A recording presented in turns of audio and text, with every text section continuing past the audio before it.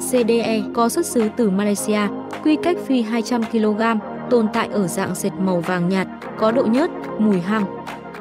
Là chất đánh bóng, chống sơ vữa trong ngành xây dựng, giúp cho bề mặt bê tông được bền đẹp và bóng mịn hơn. Là thành phần trong sản xuất chất làm mềm và chất tẩy rửa, có khả năng tạo bọt, cân bằng độ pH, được sử dụng làm nguyên liệu trong một số sản phẩm chăm sóc cá nhân như kem cạo râu, xà phòng, kem đánh răng, sữa tắm. Là chất ổn định và tăng độ nhớt trong công nghiệp sản xuất sơn và dầu mỡ. Được sử dụng trong sản xuất thuốc dưới dạng nhũ tương, dạng gel hoặc liều dùng.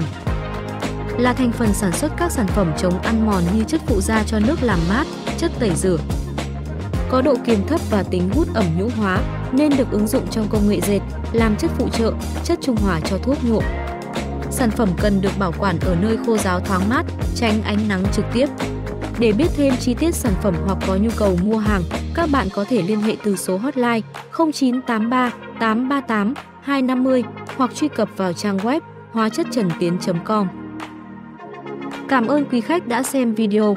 Hãy đăng ký kênh để theo dõi các sản phẩm mới.